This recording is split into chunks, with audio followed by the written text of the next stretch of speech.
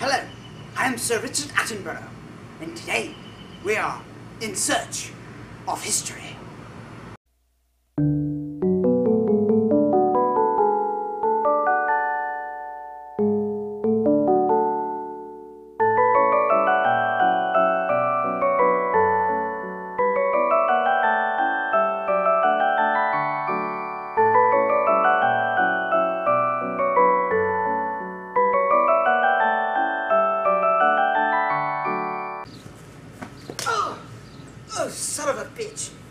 Oh, oh, damn it to hell! Oh, oh, shit!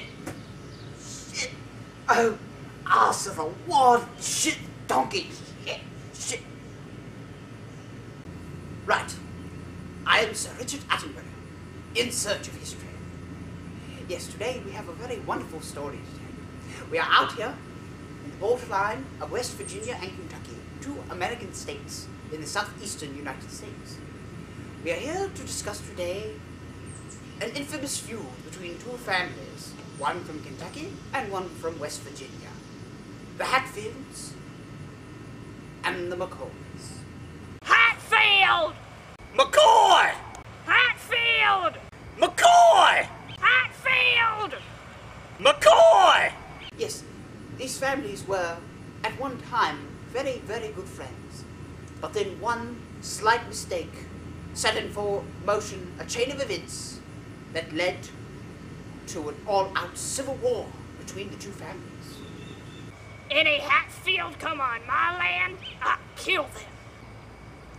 Any McCoy come on my land, I kill them. These families fought for the better half of two decades. Dang it, Hatfield! You stole my Barbie doll and I know it! I Haven't seen that thing since 1863. You stole my land! You stole my pig!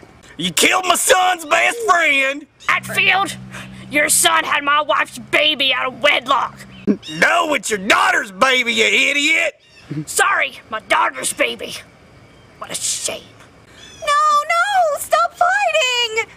Pew, pew, pew, pew, pew, pew, pew, pew. Boom, boom, boom, boom, boom, boom, boom, boom! One, two, three, four, I declare a thumb war!